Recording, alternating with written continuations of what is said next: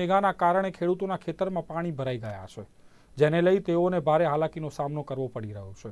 ખેડૂતોનો મગફળીનો પાક પણ નાશ પામ્યો છે, તો આ બાજુ વોર્ડ નંબર બે, ત્રણ, ચાર અને વોર્ડ નંબર છ અને એકની હરસિદ્ધિ સોસાયટીમાં પણ પાણીના વરસાદના કારણે નુકસાન થયું છે. તેથી જ ધારાસભ્ય વિમલ ચુડાસમાએ તાત્કાલિક ધોરણે સર્વે કરાવી યોગ્ય વળતર તેમજ સહાય આપવાની લેખિતમાં રજૂઆત કરી છે.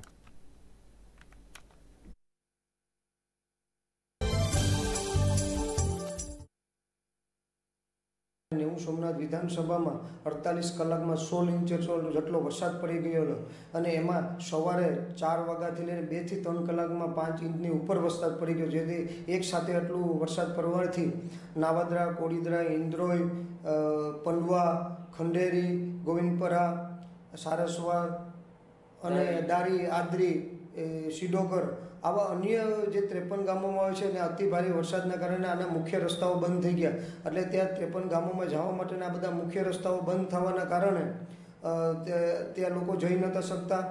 અને એના માટે મને ફોન આવ્યો કે આવી પરિસ્થિતિ છે, જે જે ગામોમાં મને ફોન આવે એ ગામોમાં હું રૂબરૂ મુલાકાત માટે નીકળેલો છું. અને ત્યાં ત્યાં જઈ અને શું પરિસ્થિતિ છે અને એ પરિસ્થિતિમાં લોકોએ મને ફોનમાં પણ કીધું કે અમારે પાક છે, મગફળી વાવેલી છે, તો ખેડૂતોની મગફળી છે, એ પાકને નુકસાન થયું છે, એનો પાક ધોવાઈ ગયો છે. એના સિવાય પણ જે અન્ય પાકો છે, એને નુકસાન થયું છે. ઘર પડી ગયા છે, નાવદરામાં તો ઘર પડી ગયેલું. સ્કૂલોમાં પાણી ઘૂસી ગયા છે, સ્કૂલોને નુકસાન થયું છે.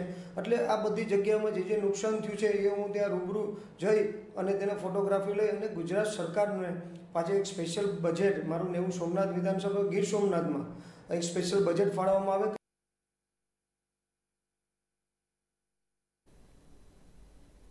ભાવનગર શહેરમાં ઇનર વ્હીલ ક્લબ